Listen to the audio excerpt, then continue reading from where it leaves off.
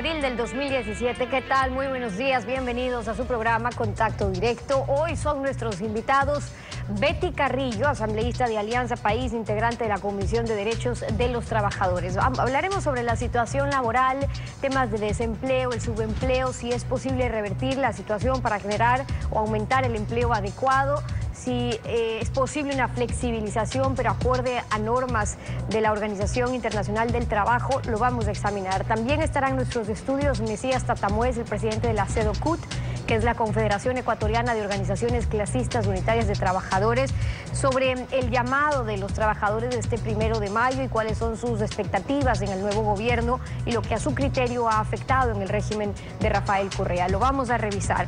Además, Larry Yumibanda, el presidente del Colegio de Economistas del Guayas, las categorías para medir la situación laboral creadas por el propio gobierno, el empleo no remunerado, el empleo no pleno, entre otros, ¿qué debería ocurrir para que haya ese giro de timón que se demanda en la falta de empleos adecuados? Lo vamos a conversar.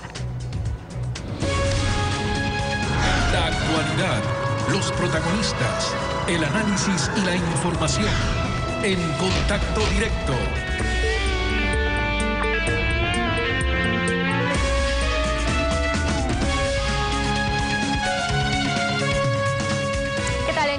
¿Cómo te va? Hola Steffi, amigos televidentes, un buen día para todos. Esta mañana nos acompaña Betty Carrillo, asambleísta de Alianza País, integrante de la Comisión de Derechos de los Trabajadores, a propósito de que el día lunes se celebra el Día Internacional del Trabajo. La hemos invitado para analizar la situación laboral y cómo mejorarla. Muy buenos días, doctora Carrillo. Muy buenos días. La última encuesta nacional de empleo, desempleo y subempleo presentada por el gobierno da cuenta de una reducción en el llamado empleo adecuado. En marzo del 2014 era de 45.5%. En marzo del 2015 fue del 43.7%. En marzo del 2016 del 40%. En marzo del 2017 del 38.5%. En la categoría de subempleo vemos un comportamiento distinto.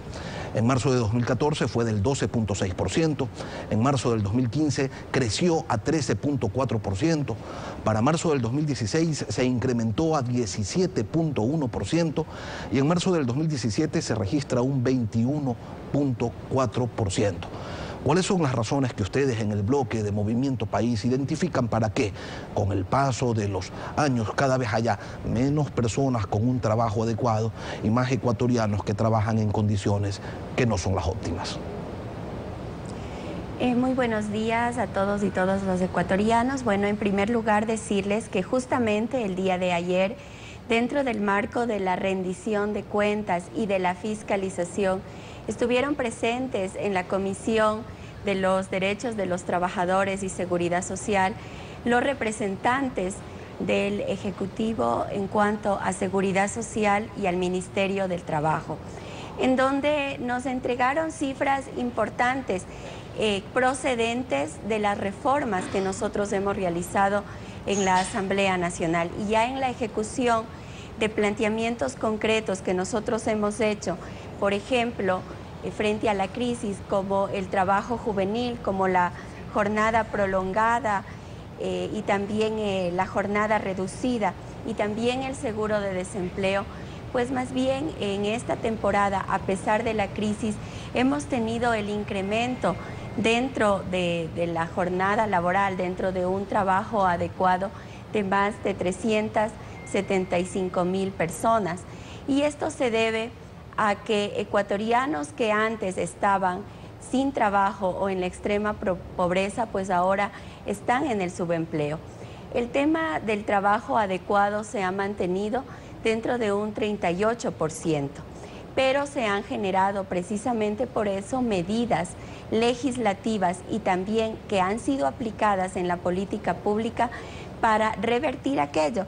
Y las cifras son importantes. Entre el 2016 y el 2017, más de 900 mil personas salieron de la extrema pobreza. Eso significa que del 8.7% hemos mejorado al 16.5%. En el transcurso de estos años a los que hemos hecho referencia, 2014 hasta el 2017, se han aprobado la ley de justicia laboral, leyes de incentivos tributarios, la ley de promoción del trabajo juvenil a la que usted hacía referencia, el código de la producción, la ley de asociación público-privada. Pero lo cierto es que entre marzo del 2014 y marzo del 2017, 85.916 personas ya no pertenecen a la categoría de empleo pleno. En ese mismo lapso, como usted lo señalaba, 600.000 personas han ingresado a la categoría de subempleados y 36.000 ecuatorianos se han sumado al desempleo. En base a esto, que son cifras del INEC, ¿no considera usted que le está haciendo falta flexibilidad al régimen laboral ecuatoriano? Nosotros como una política de Estado, tanto en el, legislativo como el ejecutivo, hemos eh, tenido claras, eh, claros objetivos. Uno de ellos es fomentar el empleo y para eso, por ejemplo, se ha legislado en cuanto al trabajo juvenil. Esto ha sido importantísimo porque ha permitido que 2.777 personas puedan acceder a una fuente de trabajo. Es una cifra marginal, Medidas, No es una cifra marginal cuando partíamos... 2.777 personas que han podido ingresar gracias a la política del trabajo juvenil, personas que no tenían empleo y que ahora eh, la seguridad social está siendo pagada por el Estado para que los jóvenes puedan acceder a ese trabajo. De tener cero a apenas en un año que haya permitido esta, esta legislación, pues que el permitir el trabajo juvenil, pues yo creo que es sumamente importante. Pero si lo comparamos con las 36 mil personas que han perdido el empleo, que han pasado a la categoría de desempleados, es una cifra marginal.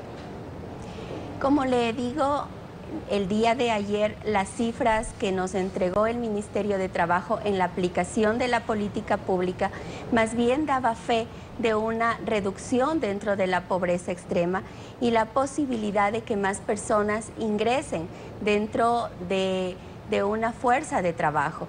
El presidente de la República en el último enlace también dio fe de aquello de acuerdo a la información entregada por el Ministerio de Claro, comparando el marzo del 2016 con marzo del 2017. Yo la invito a irnos un poco más atrás y por eso la comparación la hago desde marzo del 2014. Ahora, el artículo 327 de la Constitución señala que la relación laboral entre personas trabajadoras y empleadoras será bilateral y directa, pero además dice que se prohíbe toda forma de precarización como la intermediación laboral y la tercerización en las actividades propias y habituales de la empresa o persona empleadora. La contratación laboral por horas, señala la Constitución, o cualquier otra que afecte los derechos de las personas trabajadoras en forma individual o colectiva también está prohibido.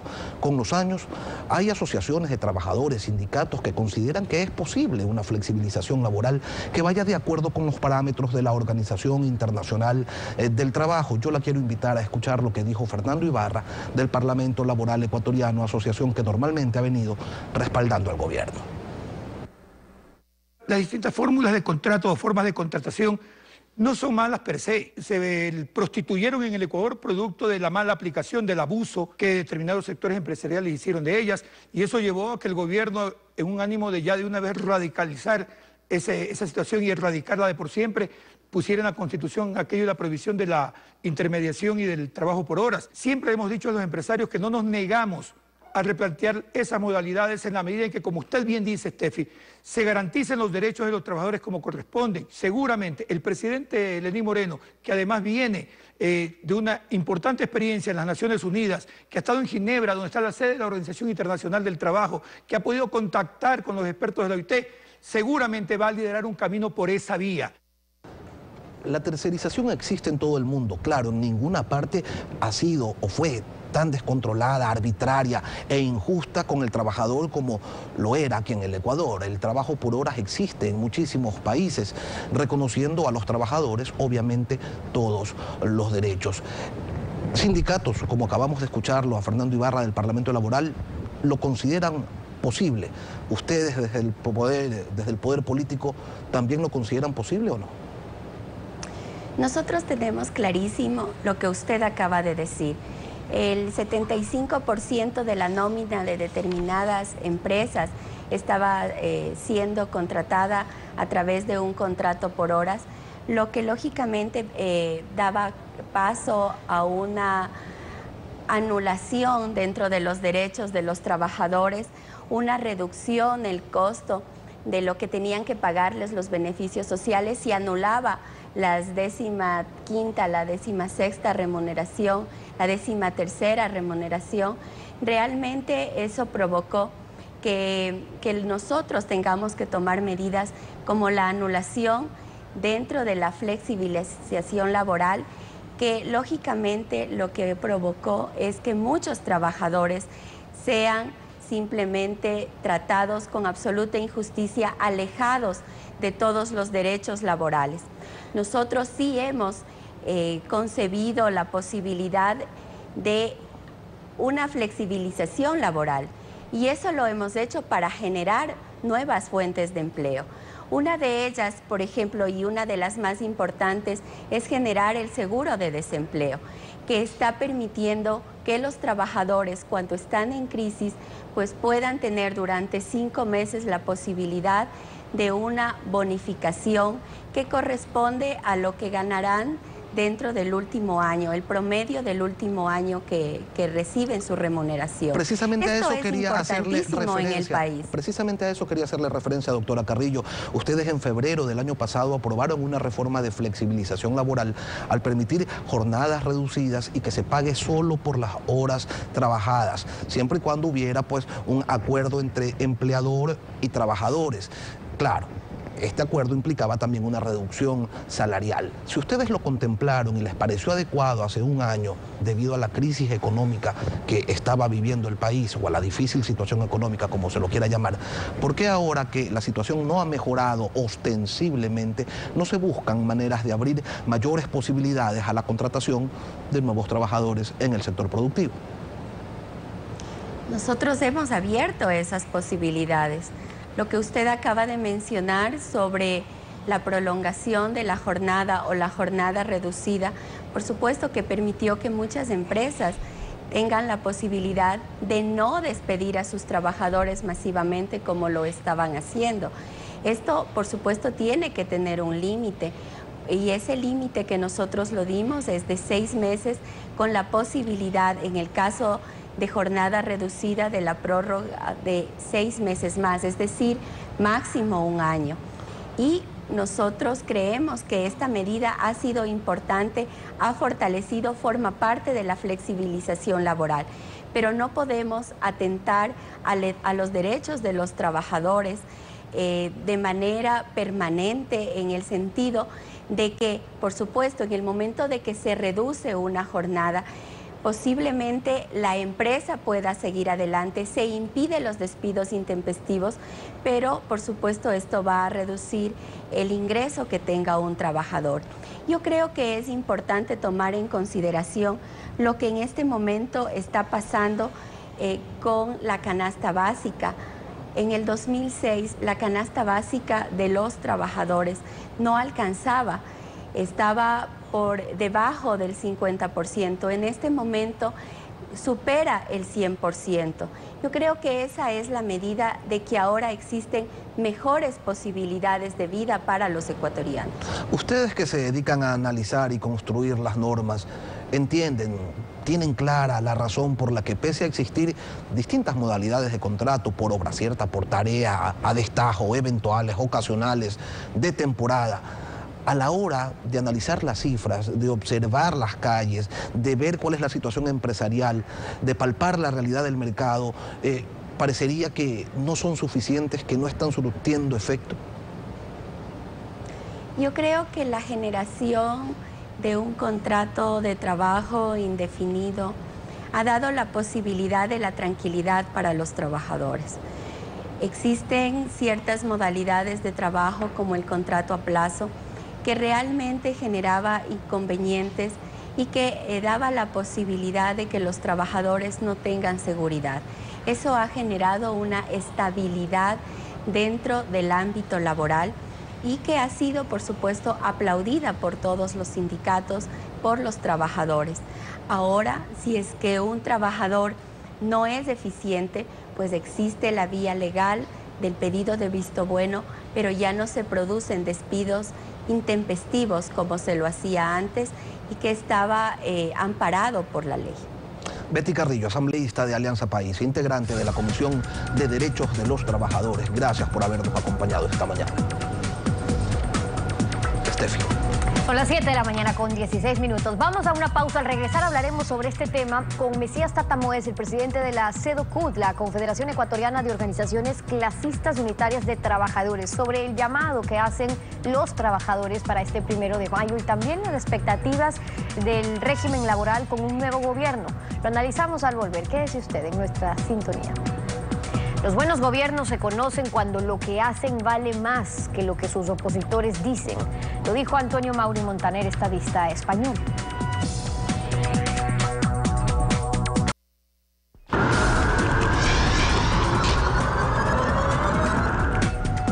Mesías Tatamuez, presidente de la CEDOCUT, bienvenido a Contacto Directo. Buenos días, licenciada, buenos días, ecuatorianos. Un saludo para todo el Ecuador. Buenos días. Este primero de mayo será el primero después de 10 años con un gobierno distinto y claro, hay expectativa desde las confederaciones, las organizaciones de trabajadores sobre los giros que pueda tomar el régimen laboral. ¿Cuál será el llamado de los trabajadores este primero de mayo? Esperemos, licenciada y ecuatorianos y ecuatorianas, que fuera distinto para que eh, primero que cambien la prepotencia, he visto y estamos escuchando el cambio del discurso ya, ya no hay el insulto, ya no hay el ultraje y también han cambiado ya de decir nosotros sabemos y los demás no saben. Queremos que sea un gobierno de los 16 millones de ecuatorianos y no el presidente del partido político de turno porque el gobierno, el pueblo ecuatoriano, si estamos divididos, y por eso nosotros quisiéramos que en este primero de mayo no vayamos a confrontar, sino vayamos a unirnos entre ecuatorianos y no vamos a caer en la provocación que llaman a la, a la confrontación, sino a unirnos para acabar principalmente y combatir una lacra que es la más grande que está creada en el Ecuador y en América Latina, que es la corrupción. Bueno, eso dependerá cuáles serán los próximos pasos. Escuchaba usted a Betty Carrillo hace pocos minutos hablar sobre lo que ellos consideran ha sido un avance en el régimen laboral. Pero eh, yo recuerdo que este 10 eh, de marzo, es decir, justo antes de la segunda vuelta, ustedes habían firmado un acuerdo, en ese entonces apoyaban la candidatura de Guillermo Lazo y esperaban que se pueda cumplir estos planteamientos que son importantes. Uno, derogar el decreto 813 que eh, a, su criterio deja en desocupación a funcionarios públicos, el derogar la ley de justicia laboral que puso límite a las utilidades de los trabajadores, pedían derogar las enmiendas constitucionales que eliminan derechos de los trabajadores públicos a la sindicalización y la contratación colectiva, derogar el decreto 16 porque argumentaban vulnera la autonomía de las organizaciones sociales y bueno, eso es parte de lo que esperaban. Ahora, ¿creen que algo de ello se pueda lograr con el futuro presidente, con Lenín Moreno? Qué bien que lo aclara, licenciada, usted a los ecuatorianos y ecuatorianas.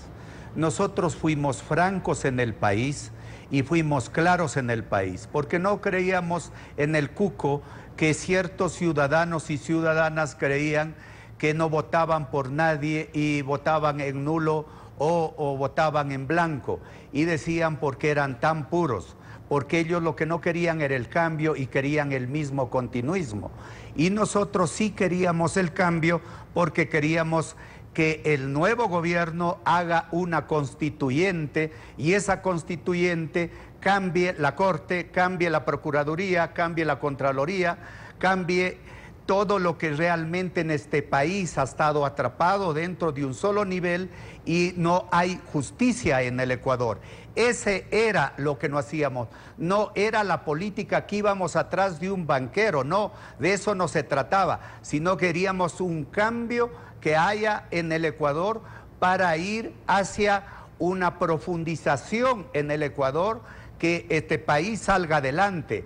Primero con el respeto, que se acabe la criminalización y que vayamos a un combate a la corrupción y primero descubramos todo lo que realmente ahora se encuentra... Cambios sustanciales de fondo lo que ustedes pedían, pero parte de ello incluye que eh, dentro de lo que plantean derogar leyes, decretos que fueron expedidos en estos años de gobierno con Rafael Correa, sí, pero son Alianza País y es el mismo movimiento el que ahora tiene mayoría en la Asamblea, no como antes, pero sí mayoría, y el Ejecutivo. Ahora con este consejo consultivo que ofrecen crear más allá de los diálogos, lo que estaría por verse entonces es si hay ese margen para cambiar, derogar, eliminar lo que ellos mismos aprobaron. ¿Ustedes lo ven factible con Lenín Moreno? Mire, yo creo que para que sea factible y para que salga adelante el país, primero el gobierno tiene que oxigenarse.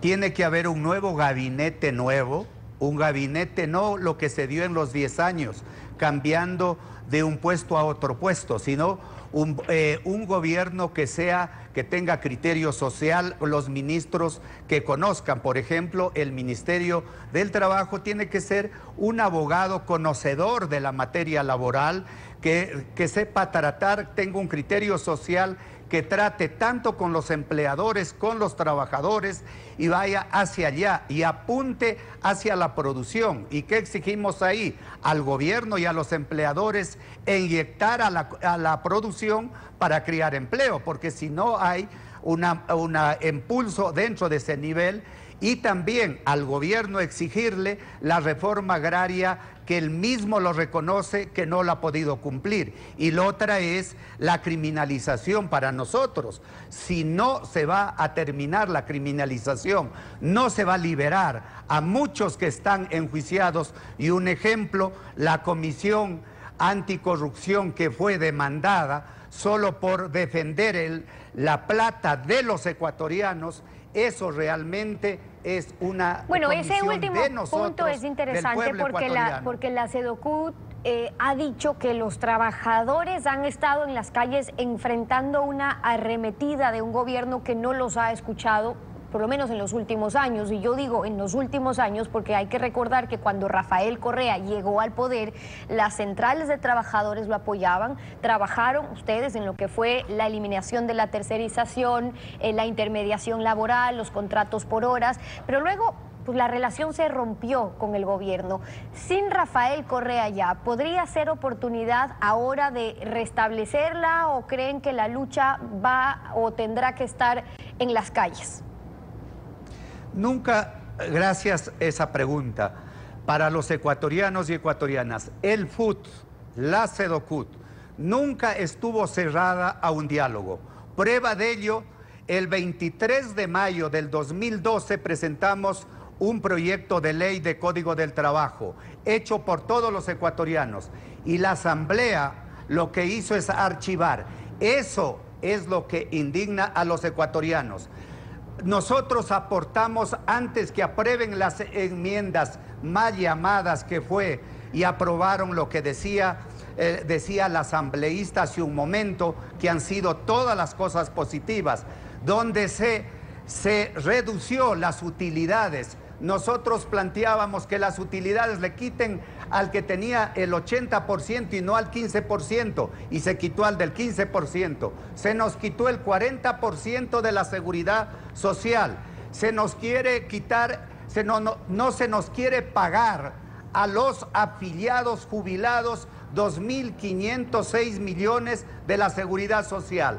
Eso quiere decir, y le decimos el FUT, los ecuatorianos, iremos a un diálogo, trabajaremos por el país, porque toda la vida hemos aportado en este país, seguiremos aportando en este país, pero en un diálogo franco, serio, abierto, público, pero que no se demande como se demanda a los medios de comunicación, a la Comisión Ahora, pero en temas puntuales a los medio- ciudadanos cuando salen a protestar. Eso está es claro. lo que no estamos de acuerdo. Perfecto, pero luego en los planteamientos concretos que ustedes hacen, y por ejemplo hoy conversábamos con Betty Carrillo sobre la flexibilización laboral, que fue un tema por el cual ustedes lucharon y además durante años. Pero una de las consecuencias es que ah, en estos últimos años también hemos visto la afectación en el empleo, es decir, personas que fueron despedidas a raíz de eso. Y entonces se habla, ok, de no pasar a la rigidez y una flexibilización, pero reconociendo, por ejemplo, los tratados internacionales de la Organización Internacional del Trabajo con estándares que se reconozca la seguridad social, es decir, un marco distinto.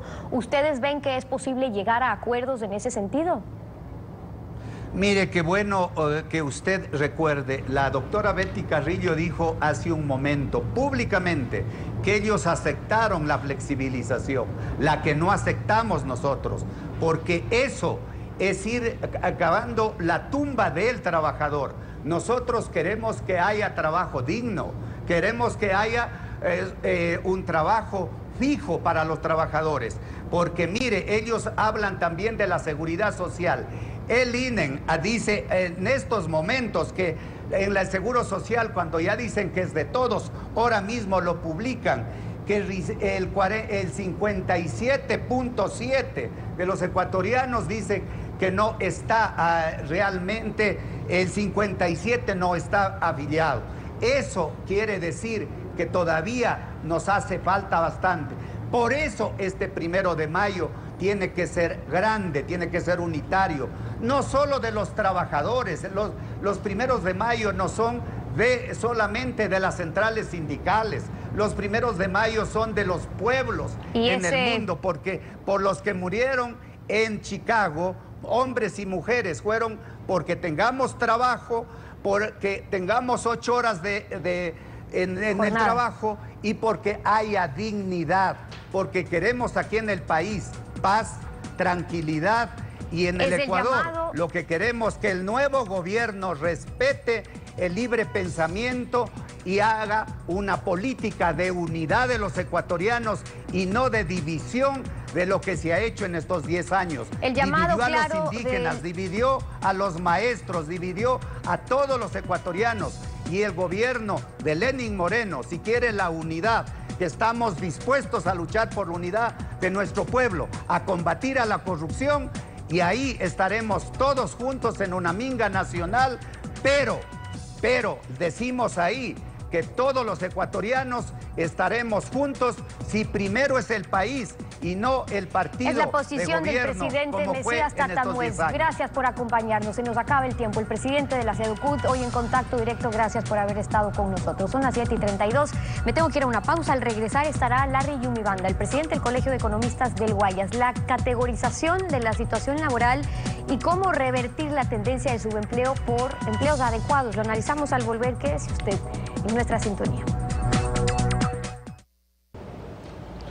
El gobierno publicita que los desempleados, que eran 387 mil en marzo del 2016, en marzo del 2017 son 301 mil, se han reducido. Pero no profundiza en el análisis de todas las demás categorías que crearon para medir la situación laboral. Allí están el empleo pleno, el subempleo, el empleo no remunerado, el empleo no clasificado y algo que se llama otro empleo no pleno donde se ubica a más de un millón de personas. Larry Yumibanda, presidente del Colegio de Economistas del Guayas, nos acompaña esta mañana. Economista, buenos días. ¿Por qué el gobierno solo nos habla del desempleo y no hace mayor referencia a las demás categorías? Buenos días, Lenín. Buenos días al país. Efectivamente, nosotros vemos que el desempleo ha bajado, pero ¿a costa de qué? A costa de la precarización laboral. Se mantiene la misma tendencia que le hemos venido hablando hasta diciembre del año anterior, en que casi 5 millones de ecuatorianos están desempleados y con empleo inadecuado. El empleo inadecuado, como usted lo mencionó, son tres categorías. Las personas actualmente están pasando por un momento de desesperación, de trabajar en lo que sea, y eso ha generado un incremento del empleo inadecuado con respecto al año anterior. eso más o menos está entre más de 350 mil personas. Entonces sí preocupa porque la economía, a pesar de haber salido de terapia intensiva, actualmente está en observación y si no se hacen los correctivos en materia de política económica, nuevamente volverá a enfermarse y posiblemente caigamos en una recesión económica. Ya vamos a ir al tema de los correctivos. Hoy nos dicen que hay menos desempleados, pero se observa que hemos pasado de un 32.8 de afiliados al IES en marzo del 2016 a un 29.1 de afiliados. Hay gente que tiene trabajo pero no prestaciones, no tiene seguridad social. Estamos hablando de gente que trabaja en la informalidad con salarios por debajo del básico y sin pagos de horas extras, sin ningún beneficio. ¿Cómo se cambia esta situación? Mire, la situación es tan delicada. Yo tengo un cuadro que quiero mostrarlo para más o menos medir el crecimiento económico desde el año 2000 hasta el 2018, que son las cifras que proyectó el Banco Mundial siendo optimista. En el periodo 2000 a 2006, el crecimiento promedio ha sido de 4.6. Luego viene del año 2007 al 2016, que es el periodo prácticamente de Rafael Correa, con un crecimiento promedio del 3.3. Pero lo que preocupa y lo que alarma y lo que debería interesar a la ciudadanía es que a partir del 2017 y 2018, de acuerdo a la cifra del Banco Mundial, siendo optimistas, va a tener un crecimiento promedio del 0.55%. Esto, para resumirlo, es que vamos a pasar de un decrecimiento económico del año 2016 a un estancamiento del Producto Interno Bruto, de la producción y por lo tanto las condiciones van a estar muy complejas. El, presidente electo, Lenín Moreno, va a tener que adoptar políticas económicas expansivas y contracíclicas para que pueda reactivar la economía. Caso contrario, ese leve crecimiento que proyecta el Banco Mundial, no así el fondo que también proyecta de crecimiento, obviamente podría agravar la situación laboral de todos los ecuatorianos. ¿Y cuáles son esas medidas, economistas, las medidas que podrían, o, sí, pues que podrían revertir esta situación según su criterio? Porque las reformas laborales del gobierno, que no han sido pocas, por cierto, eh, los incentivos, eh, la generación de nueva normativa, parece que no dan resultados. El problema radica en la confianza y la seguridad. Este modelo de la economía del socialismo del siglo XXI tiene que ser cambiado puede ir a un modelo de transición, que puede ser la economía socialista de mercado, para que más o menos se alineen al pensamiento de ellos. Lo que nosotros planteamos es ir un poquito más allá y plantear la economía social de mercado. Eso implica un sinnúmero de medidas y reformas de corto plazo y de largo plazo. En el cortísimo plazo, el gobierno nacional tiene que entrar a una disminución de impuestos, tasas y contribuciones, una depuración del gasto corriente, excluyendo salud, educación y seguridad. Debe entrar, en este caso, a una reforma laboral para impulsar la contratación por horas, pero con seguridad social, para el empleo juvenil. Debe entrar en una austeridad y disciplina fiscal de lo contrario, de lo contrario, vamos a seguir teniendo problemas estructurales porque Goldman Sachs ha estipulado que el precio del petróleo va a estar entre 45 y 55 dólares promedio hasta el año 2020. Eso quiere decir que todo el gobierno, que todo el gobierno de Lenín Moreno, vamos a estar en estancamiento productivo. Eso en el corto plazo y en el largo plazo. En el largo plazo, bueno, ya son políticas de gran alcance que haya una línea de seguir buscando acuerdos comerciales con la China, con la India, con Corea del Sur, con Chile, con países en los cuales nosotros podemos, podamos incrementar nuestras exportaciones extranjeras, comenzar a capitalizar las empresas públicas del Ecuador a través de la emisión de acciones y que el mercado internacional las compre, pero para eso debe haber en este caso seguridad social. Debemos fortalecer la dolarización. El dólar tiene que estar en la Constitución, porque actualmente con solo una reforma legal, y me refiero al artículo 94 del Código Monetario, la Asamblea Nacional puede reemplazar la palabra dólares por sucre o por cualquier moneda nacional y automáticamente podrían salir de la dolarización. Y esto también significa que, por ejemplo, se dejen de ya no tomar la reserva internacional que actualmente no cubre ni las reservas bancarias, pero también nosotros como Colegio Economista de Guaya sospechamos que también han sido tomados los dineros que respaldan el dinero electrónico. Larry Yumibanda, presidente del Colegio de Economistas del Guayas, gracias por acompañarnos en Contacto Directo. Gracias a ustedes.